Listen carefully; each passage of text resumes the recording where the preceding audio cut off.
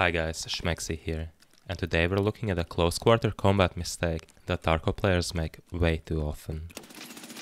Could you already guess what that mistake is? Ignore the part where my sprint gets stuck and I'm running directly into a player like Rambo. Apart from that, what's the single biggest mistake you see? Of course, it's the grenade pull. Pulling out a grenade when you're too close, or doing anything else such as healing or reloading, leaves you completely vulnerable to a push. While most Tarkov players are not super aggressive and will not punish you for this, experienced players like myself will gladly take that guaranteed free kill when you start performing an action too close. So today we're looking at how to prevent dying like this, and by the end of the video I hope you will realize that you can easily punish other people who are making this mistake and get away with tons of free kills.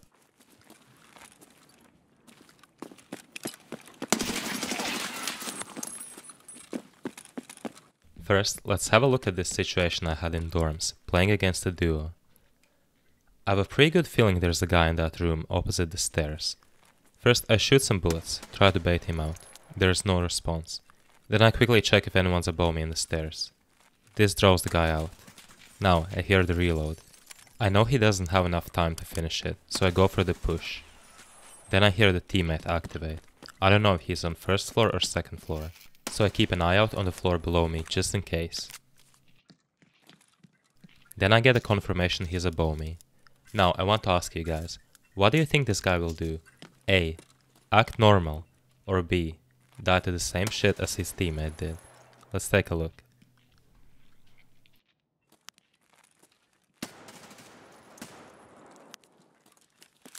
There goes the reload.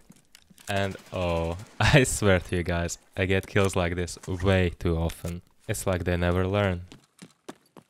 Whenever you're fighting someone who's close by, and you want to reload, heal, or throw a grenade, the most important thing you must do is to listen. Now you're probably going to tell me, but I have my headset on, I'm always listening to the game. No, I mean listen really carefully. Because not only will your reload obstruct the other audio that you hear, but also, there might be other sources of sound in a fight, such as PMCs moving around, shooting, and making absolute chaos around you. But through all of that, you must be able to hear that first running step towards you. And you should not only hear it, but you should also have a plan ready in your mind for what to do when it happens. Let me jump into an offline raid and play back the scenario we just looked at in dorms. I'm going to show you what these two players could have done better to avoid getting killed. Imagine I'm the first guy I fought. I'm stuck in this room and I have to reload. There's really no options for falling back as this room is a dead end. What I would do is close the door and tuck myself in the corner. This way, it would take longer for an enemy to push as they would have to open the door first. The reason I would stay in the corner is to avoid getting spammed through the door. Another option is to get out of the room.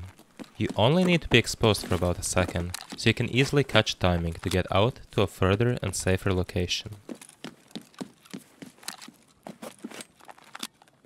As for the other PMC, who was reloading right about here, I would only have reloaded one or two shotgun rounds and then cancelled, or even better I would have fallen back to somewhere here, or even these back rooms over here. Much safer. Here's another thing I recommend you try. Do a reload and see how far you can run. This distance is how far away you should be from anyone to perform a reload or heal safely. Keep in mind that people can also have higher levels of strength than you, or be using stimulants, making them even faster. Likewise, this is the distance within which I recommend you to push people. You can even do it from a bit further, because even if your enemy did just about finish their reload, I promise you, They'll be panicking and screaming, and their aim is more likely going to be off, putting you in an advantage. Now let's have a look at some other clips I have.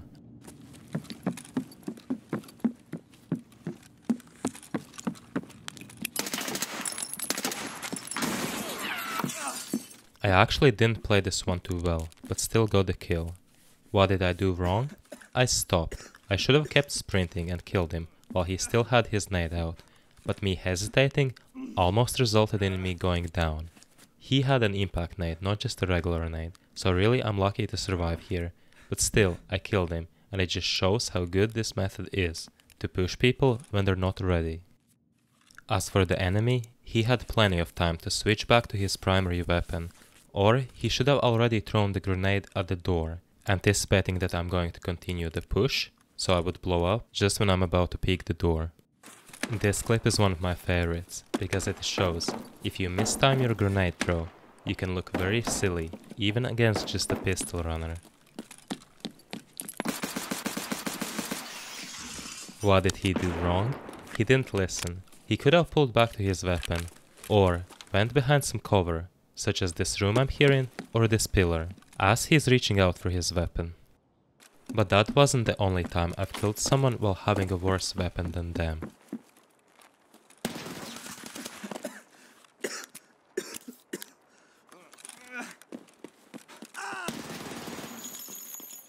Feels like it doesn't matter what gun you're using. If the enemy is not holding their gun, you can just simply run up to them and kill them. And in my experience, this is not only beginner's mistake. Even high-level PMCs, such as this guy running Exfil and VSS, make this mistake. They're not used to being pushed like this, and so they're actually really really easy to kill. You just start listening for those sound cues and run as soon as you hear them. Oh, I killed him, I killed him, me here. To sum everything up, here's the main things you should remember from this video. Get used to how long it takes to perform various actions in the game. A reload, a grenade throw, and a switch back to your weapon from holding a grenade. Whenever you plan to use a grenade, reload or heal, listen carefully for your enemy's push. Think about what you will do if they do decide to push you. Will you switch back to your weapon, or will you reposition further back? Remember to use all sorts of cover, and that you can also close doors or go prone if necessary. Likewise, listen out for other PMC actions and don't be afraid to push them if they are close. You will often catch them by surprise and come out on top. If you found this video useful, click that like button and leave a comment down below. You can also find me streaming on Twitch if you want to see any of this action performed live. The link will be in the video description. Peace.